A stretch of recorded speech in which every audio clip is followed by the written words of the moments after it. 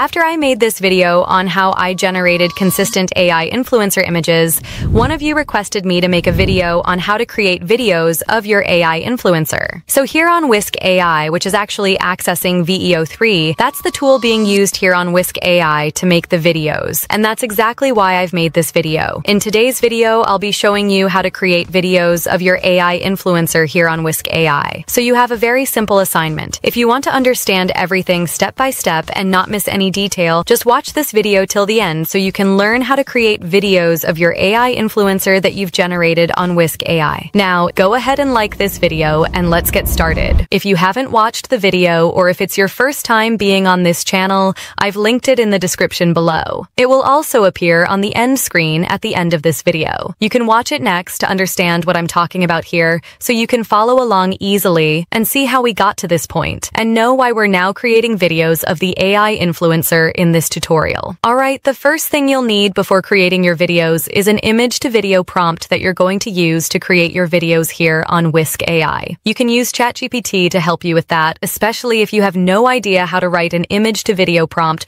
or what to include in one. Don't overthink it or make it complicated. It's just a simple prompt, and Whisk will still understand what you're going for based on the image you want to turn into a video. When you're on ChatGPT, describe everything clearly. You can even upload the image that you want to turn into a video so ChatGPT can give you a more accurate prompt that matches your desired look. Just click the plus icon, upload your photo, and ask ChatGPT to create an image to video prompt that you can use to create your video. ChatGPT will then generate a prompt for you. Read through it carefully to make sure everything makes sense. If you want to refine, remove, or add certain details, go ahead and tell ChatGPT exactly what to adjust. Describe everything clearly so it can give you a well-detailed prompt that will give you the best results when creating your video. Now, before I go ahead and show you how to create the videos, I want to make you aware of this. Yes, on Whisk AI, you can create videos of your images for free, but the free account has a limited number of videos you can make per month since it's using VEO3 to generate them. So it's free, but with limits. That means you shouldn't misuse your available video generations if you're on the free plan. However, they also have paid plans. So if you want to create more videos or access premium features, you can upgrade. But if you're starting out with the free plan, you can make up to five videos per month using VEO3. I'll show you all that in a moment. But for now, I just wanted to make you aware of what to expect. Now let's get into creating the videos of your AI influencer. It's very simple. If you hover your cursor over one of the images you've created on Whisk AI, you'll see an animate button appear. Click on that button to add your image to video prompt and create your video. However, if your image is in a square or portrait ratio, you won't be able to generate videos for now because VEO3 currently only supports landscape ratio videos. So here's what you can do. Let's say I want to make a video of this exact same image look, the same AI influencer, but the only problem is that I generated the image in a square ratio. In that case, come to the aspect ratio section and switch it to landscape. Then go to the seed number section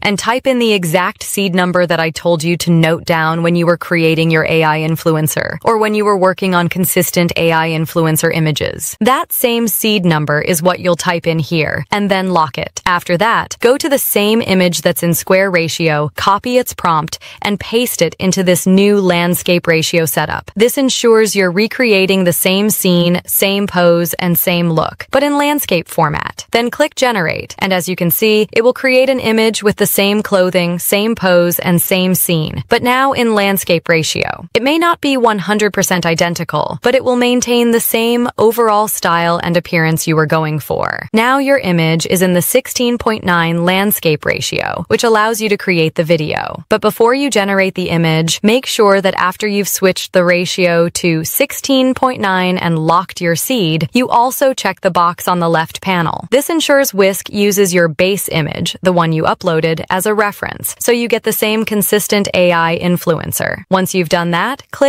Generate. Whisk AI will give you two images per generation round. Go ahead and choose the one you like best. For my case, I'll go with this one, and this is the one I want to turn into a video. Now, put your cursor on that image again, and you'll see the animate button. Click on it, and it will bring you to a new section where you can enter your image to video prompt, the one you got from ChatGPT. Paste your prompt there, then click Generate, and Whisk AI will start creating your video. Be patient during this process. You can continue working on other creations while your video processes. Then Whisk will notify you when it's ready or you can find it under the videos section. Now, my video is ready. And before we even watch it, I just want to mention that yes, Whisk AI is using VEO3 to make the videos for you. You can even see the VEO3 logo on the bottom right corner of your video, confirming that it was generated using VEO3. Alright, now let's go ahead and watch the result.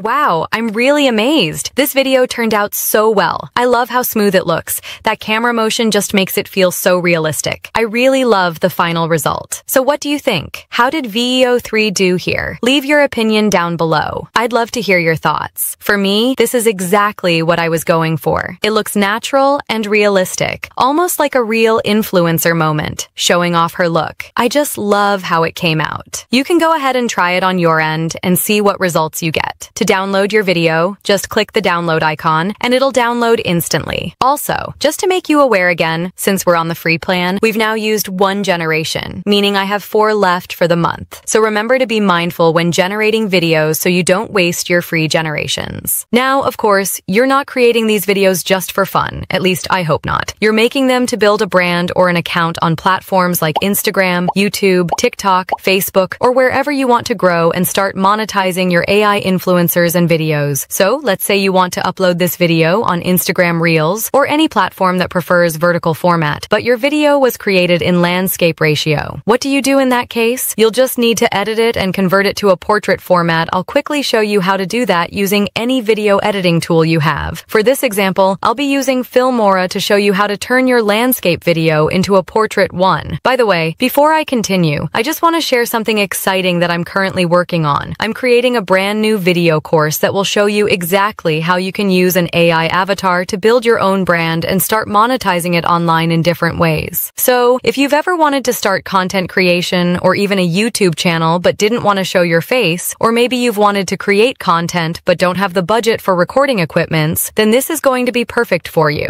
Right now, I've opened a waitlist for those who want to learn how to do this once the course is ready. The spots are very limited, and once they fill up, I won't be reopening the waitlist again. So, if you'd like to be among the first people to get early access and special early bird pricing when the course launches, make sure you join using the first link in the description before the spots fill up. And thank you so much to everyone who has already joined. I really appreciate it, but if you haven't joined yet, make sure you don't miss this opportunity. Go ahead and click that first link in the description and sign up before the doors close. Alright, now let's get back to the video. So, open a new project in your editing tool, then import your video. Whether you're using CapCut, Filmora, or any other editing software, just import your video inside the editor.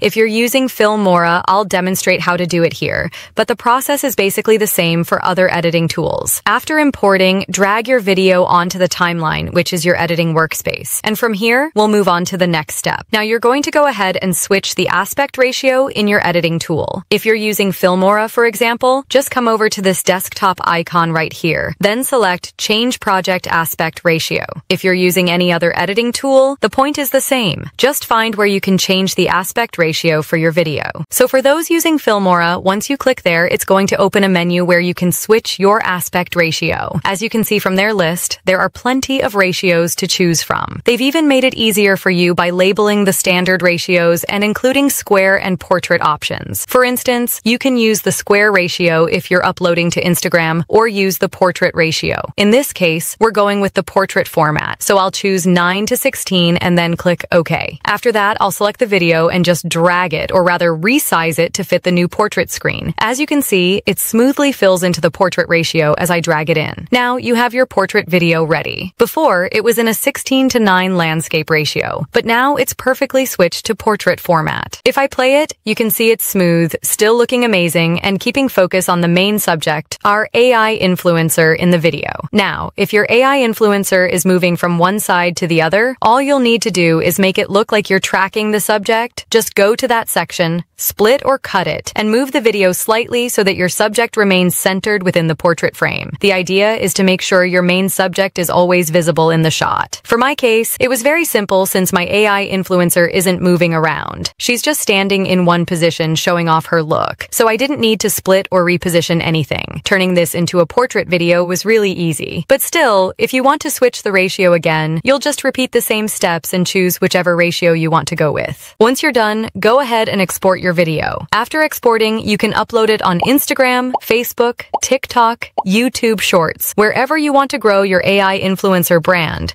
Just like the creators who are using AI influencers to build brands on Instagram, take time to learn from their style and strategy. If you stay consistent with this, trust me, you'll be able to grow your AI influencer and even monetize your account once your following starts growing. Just make sure you're creating videos people actually want to watch. Don't just upload the raw video. Go ahead and add some creative edits. Make it feel like it's a real influencer so you can grow your brand strategically depending on your AI influencer's niche. So that's how you can simply turn your landscape video into a portrait format, making it ready for platforms that require vertical videos. And that's also how you can easily turn your image into a video, right here on Whisk AI. I hope this video helped you learn how to create and prepare videos for your AI influencer. If you plan to upload videos on your AI influencer's Instagram account or any other platform, you now know exactly how to do it. Thank you so much for watching and sticking around till the end. Also, don't forget to hit that like button for me. And if you haven't watched the previous video where I showed how I made my AI influencers consistent images, make sure to check it out. It's going to appear on the end screen. Thanks again, and I'll see you in this next video.